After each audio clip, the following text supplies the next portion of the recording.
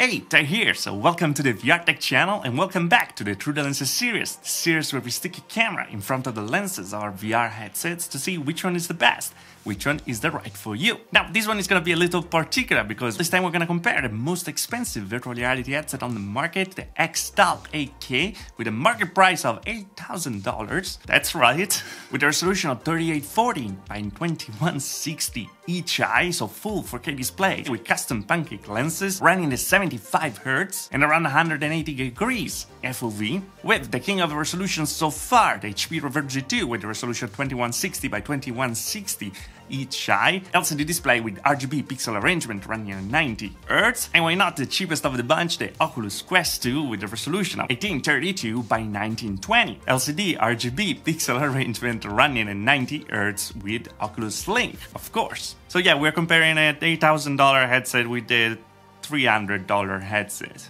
Well, that sounds about right. But anyway, there's also gonna be very interesting. Of course, here we're comparing two different words. One headset that is made to be uh, pretty much the best on everything, have every technology packed inside, and the other one is uh, mostly for everyone, so like us to buy, and uh, the other one, well, the HP Reverb G2 is just a great headset that I always love. Anyway, I want to point out two particular things about this video. The first one is that, of course, as always, this is not a science. These lenses, the screens are made for your eyes and not for the lenses of a camera, so take your own conclusions, see what you want to see. And the other particular thing is that because it's not a science, the only way to actually find a real sweet spot uh, with these lenses on XTAL, you're gonna see a lot of blurriness on the right part um, of the video. And well, that is not something that you're gonna see in reality, it's just because I wanted to uh, capture the maximum clarity, uh, the points where I want it. So well, I'm gonna zoom in the part that actually matter and not uh, the other parts, of course. So yeah, with that said and all understood, let's go through this uh, amazing comparison uh, without any sense. Let's get into it.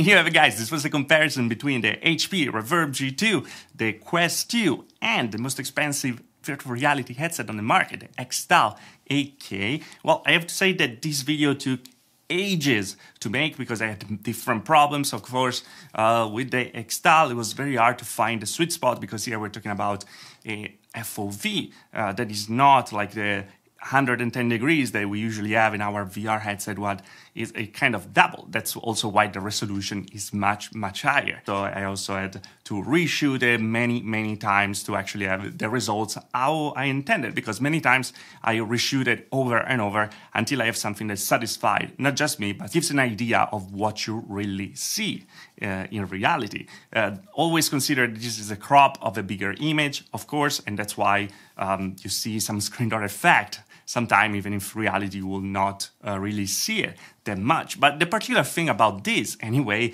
is that we're at a point where a solution with the screen door effect is a, a, kind of something from the past. I wish I had a way to show you the real FOV of the XTAL. I'm gonna try something for the review that is gonna be soon, by the way, uh, with the 360 camera and see if I have a good result. If not, well, uh, I'm just gonna tell you, wow, that's amazing. Uh, but yeah, um, I have to say though that with XTAL, everything felt a little weird uh, wearing it. Everything feels a little smaller than what it is. It's just weird that we have good results already with a $300 headset. And well, with these, of course, $8,000 target to a another different market, of course. Uh, it's much more resolution also because they have considered you see uh, more than two times what you see uh, with um, another headset. So even the G2, for example, the uh, resolution is compressed all there instead here spread out on bigger screens. And the pancake lenses where they keep uh, like the image uh, pretty uh, consistent throughout the FOV. At the same time, they feel a little blurry. you don't have the same punchiness that we have with the HP Reverb G2, for example, when we are completely in the sweet spot. so yeah, maybe something that correct by software. I have no idea. I'm in talk with them uh, for other stuff. Uh, but yeah, uh, this was taking longer than expected for many different reasons. Um, that's also why uh, I got so delayed in, uh, in videos from uh, this week. So we have just one now on Thursday. yeah. Oh, whoa that's a long time. Anyway, I hope you guys enjoyed it because it took a really long time and uh, a like would be super appreciated in case. Uh, but let me know what you think about it in the comment below. Uh, do you think that the screen for this example stand up to the $8,000 price or you think that, uh, I don't know, uh, maybe it's not. We're gonna, of course, discover more about these headset uh, in just a bit uh, during the review because there's so many things to talk about, uh, like the virtual link connection that is awesome. You connect everything with just one cable, uh, the foveated rendering, uh, the eye tracking, the automatic IPD adjustment. It, it's just so much stuff packed in it, and you can see also from the size.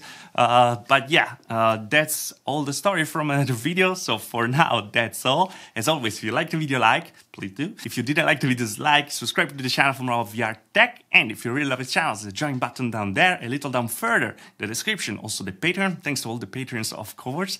Um, they have private access to videos, like they had the preview, preview of this video already, and we also have in the description t-shirt, sticker, and mask. So well, check them out, really up the channel, and for now, that's all again, so like, dislike, subscribe, see you guys next video. Thanks for watching, ciao!